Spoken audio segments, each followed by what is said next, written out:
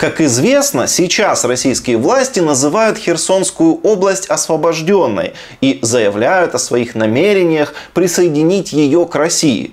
Решения должны принимать сами жители, и я уверен, что они его примут. Поэтому у меня сомнений в том, что этот регион будет в составе Российской Федерации, нет никаких. Заявлял недавно сенатор и депутат от партии «Единая Россия» Андрей Турчак.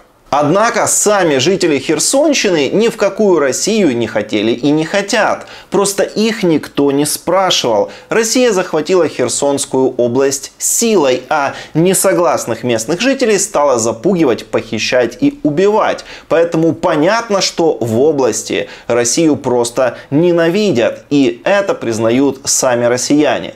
Например, заместитель российской оккупационной администрации Херсонской области Кирилл Стремоусов признает, что местное население, местные власти отказываются сотрудничать с российскими оккупантами и саботируют любую работу на них. И таким людям, которые не хотят работать на захватчиков, Кирилл Стремоусов угрожает. Конечно, есть еще, не скажу про слово недобитки, саботажи некоторых руководителей бывших, или скажем так, откровенно говоря, никому не интересных объединенных территориальных громад, например, Виноградовской, юбилейной, где там продолжают сидеть недобитки. Мы еще раз повторяем, что Украина здесь закончилась.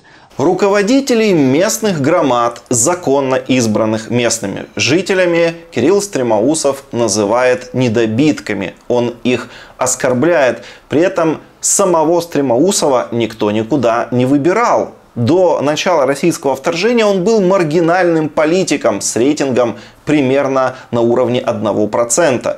У него не было никакого авторитета, его никто не выбирал, ему никто не доверял. Лишь благодаря сотрудничеству с оккупантами теперь Стремоусов сидит на штыках и занимает какую-то должность. И вот этот человек сегодня угрожает местным жителям, которые не хотят сотрудничать с захватчиками. Поэтому все те, кто саботирует работу на местах, все те, кто не дает в селах конкретной четкой позиции относительно нашего будущего развития в составе Российской Федерации, вы, опять же повторюсь, будете в ближайшее время отстранены, многие из вас будут просто наказаны. То есть российский гауляйтер угрожает расправой всем, кто не согласен с оккупацией своей страны и не хочет работать на агрессора. Как-то не похоже это на освобождение и спасение, не так ли?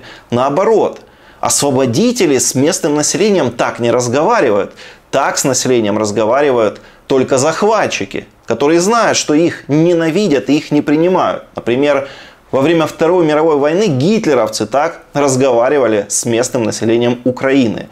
И вот этот эпизод – это лучшее опровержение той лжи о том, что Херсонская область якобы пророссийский регион, которую мы слышали десятилетиями. Как видим, ничего подобного нет. Местное население в Херсонской области Россию не принимает. И это признают сами россияне. Очень важно поделиться этой информацией. Помогите это сделать. Помогите распространить это видео и подписывайтесь на канал. Это тоже очень важно.